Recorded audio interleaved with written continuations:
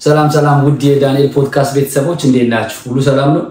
እኔ ጋር ሁሉ ሰላም ነው አለው። ዛሬ እንደሚታዩ እንግዲህ ስለዚች ክለብ ስለዚች ቤት ያ ስለ ማንቸስተር ዩናይትድ እንድናወራና እንግዲህ ምን አዲስ ነገር አለ የሚለውን አብረን እንድናይ መጥቼ የላችኋለሁ።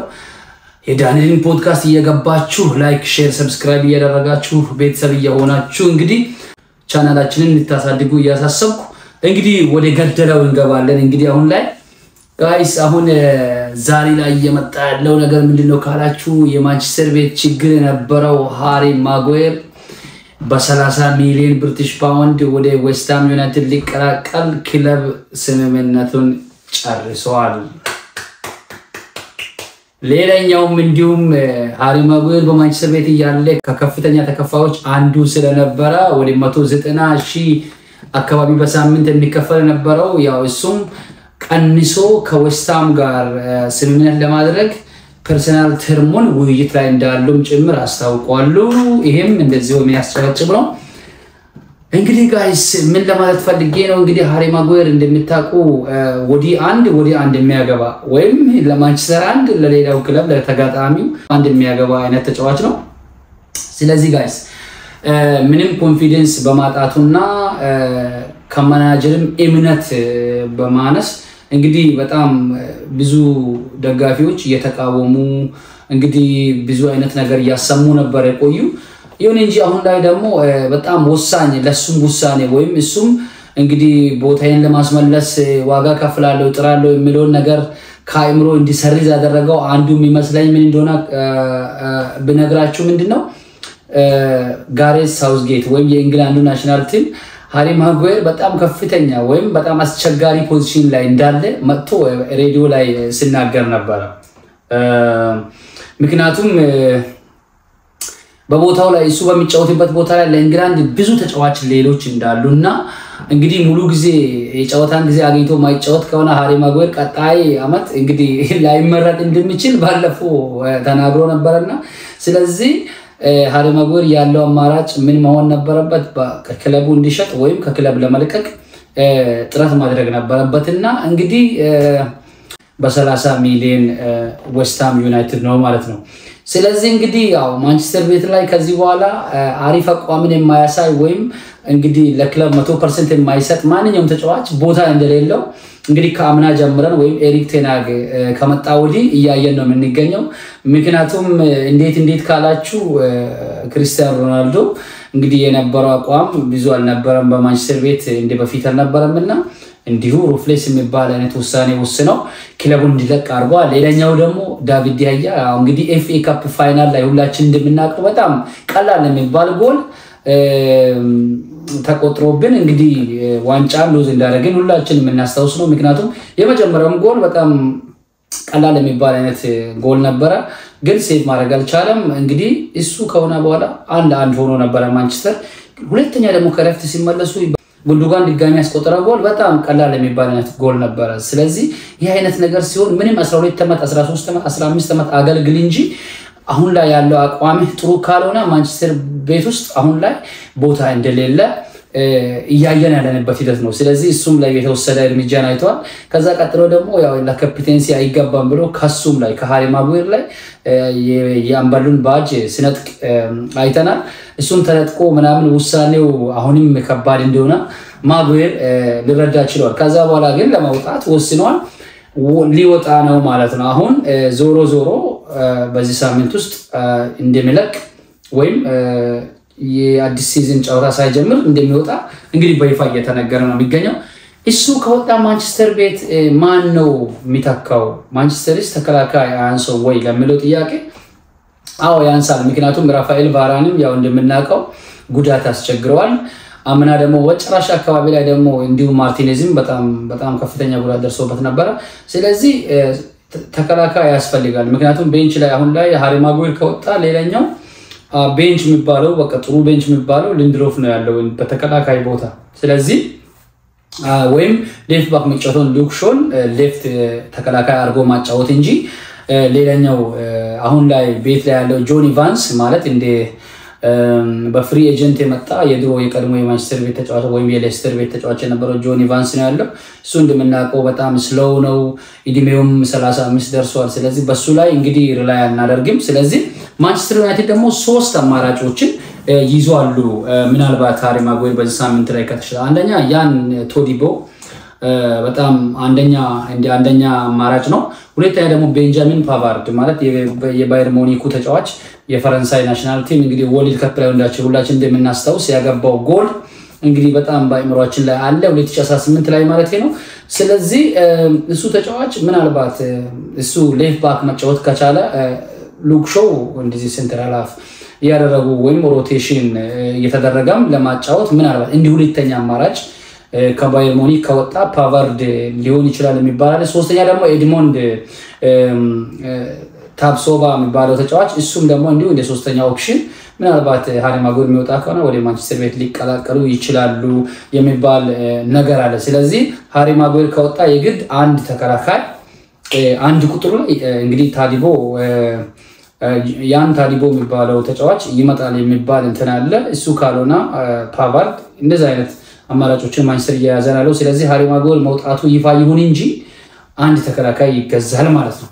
ስኮት ማክቶመኔ ሊወጣ መንገድ ላይ እንዲሆነ እየተነገረ ነው የሚገኘው። ምክንያቱም እስከ 35 ሚሊዮን British pound ለመስጠት ዌስትሃም bid አድርገዋል። ይሁን እንጂ ዩናይትድ እስከ 45 ካልሆነ እንደማይሸጡ reject አድርጎ ሸኝተዋሉ ማለት ነው። ስለዚህ ሌላኛው ደግሞ በጣም እንትን የሚል አይነት መልእክት ነው እሱ። ምክንያቱም በጣም የሚገርም አይነት ወሬ ነው። ምክንያቱም ማንቸስተር ዩናይትድ እነሱን ከሸጠ ጥሩ ገንዘብ ያገኛል። ከዛ በኋላ ሌላ World Cup ላይ አምና በካተር ላይ እንዳየ ነው በጣም አስደናቂ የሚባል መሀል ተጫዋች ነው፣ holding midfielder ነው። ስለዚህ እሱን ለማምጣት እንግዲህ ዝግጅት ላይ ነው ማንቸስተር።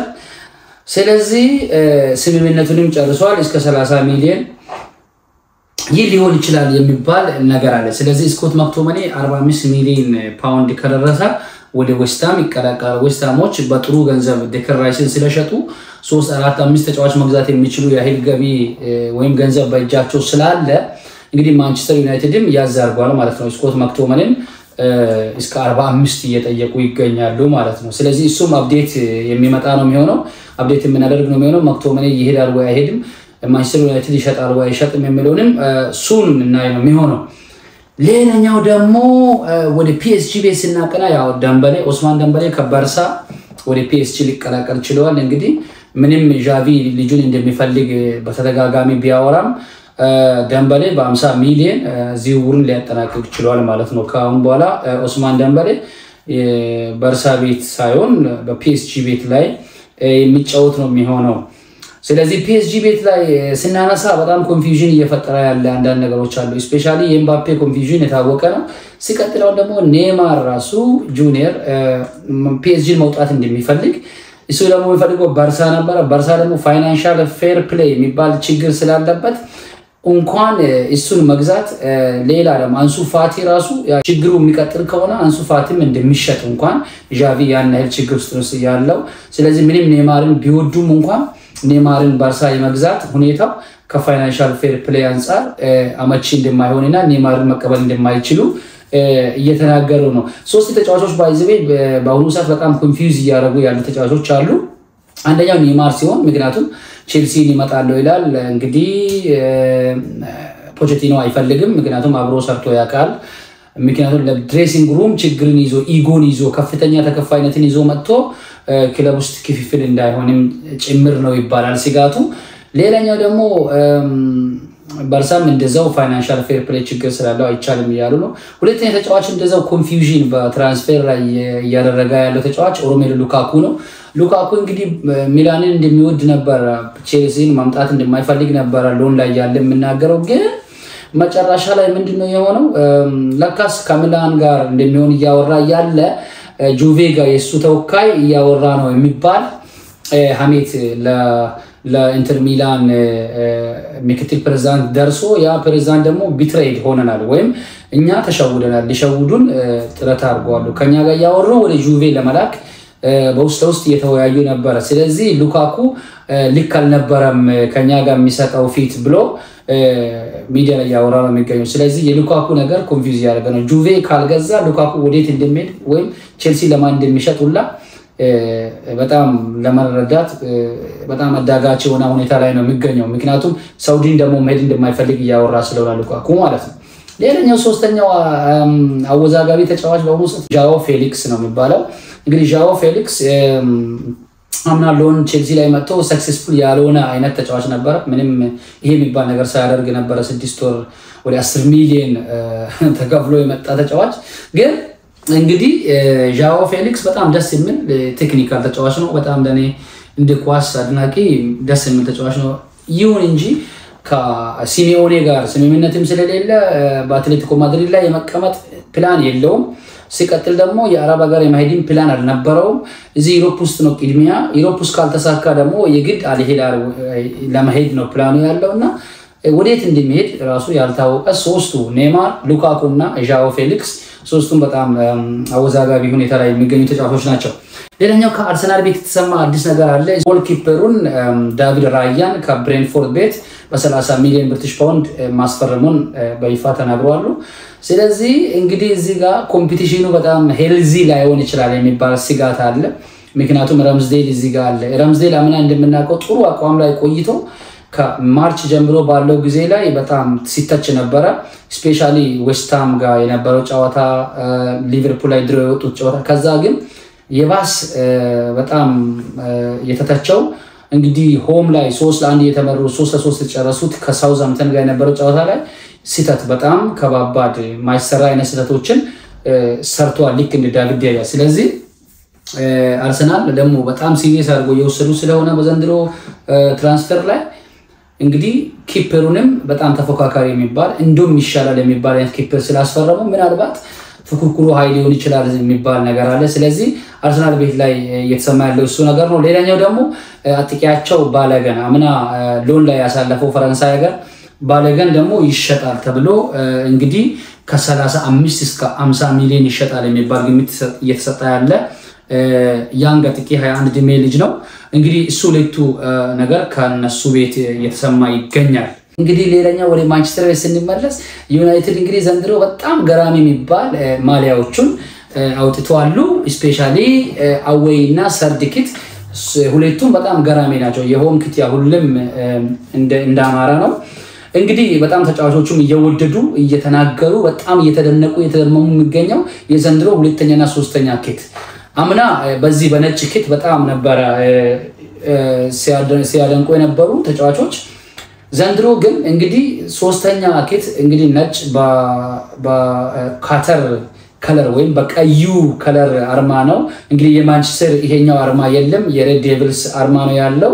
ስለዚህ ሶስተኛው kit በጣም እየተወደደ ይገኛል። እንግዲህ ብሩኖ ከዚህ ከነጩ ከአምና ቲሸርት ቀጥሎ ለእኔ top ቲሸርት ነው ብሎ ሲናገር ነበረ ብሩኖ ፈርናንዴስ። ሌላኛው ደግሞ ሁለተኛ ወይም stripe ያለው green shirt 1909 እና 1910 ላይ አካባቢ የነበረው shirt ኦች ናቸው እነዚህ ነጩም ያኛውም። ስለዚህ እሱም በጣም ከማድሪድ ጋር የተጫወቱ ጨዋታ ላይ በጣም እያማረ በጣም ደስ የሚል አይነት ድባብና በጣም ቆንጆ የሚባል አይነት ማሊያ ነበረ ማለት ነው። ስለዚህ ከቤት ከ home shirt ም ይልቅ away እና away በ green stripe ያለው ሌላኛው ደግሞ ነጭ በቀይ ያለው የ third kit በማንቸስተር እንግዲህ በጣም ደስ የሚል ሁኔታ ዘንድሮ አዲዳስ በጣም በሚደነቅ ሁኔታ አዘጋጅተዋሉ ማለት ነው። ስለዚህ guys ማንኛውም የማንቸስተር ደጋፊ ወይም የማንቸስተር membership ያለ ሰው ማንቸስተር mega store online ማዘዝ ይችላል፣ በ app ኡ ገብቶ ማለት ነው። ስለዚህ አሪፍ አሪፍ ማሊያዎችን በ20 percent ቅናሽ እየሸጡ ይገኛሉ። ገብታችሁ ግዙ ማለት ነው። የማንቸስተር ደጋፊዎች ናችሁ። እንግዲህ ዛሬ ላይ ስለ ማንቸስተር ቤት እና ስለ አንዳንድ ነገሮች ያወራነው ጊዜ ይሄ ነበረ።